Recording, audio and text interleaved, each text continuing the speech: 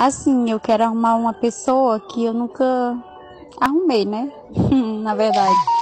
Aí eu quero arrumar uma pessoa que realmente pode me ajudar, assim, porque eu tenho família, eu sou pai e mãe de, de uns meninos, não é só de um, é porque eu tenho 11 filhos. Só que só mora comigo oito. Aí então eu não vou estar tá saindo com uma pessoa só pra se divertir e, sabe, sentir prazer. Oh, vai se lascar, rapariga velha, que ainda é chechel aqui pra cuidar de filho dos outros, pra torrar atrás do pai de teus meninos, nojenta.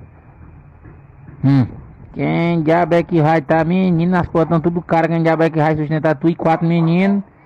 Tu vai pra baixa da ela, atrás do pai de teus meninos não, pra te ver, viu? Então vai pro fora, bota na justiça, desgraça. É, pra que acaba que vai arrumar uma mulher com oito meninos, pai? Pacote de arroz de 25 reais, até morro.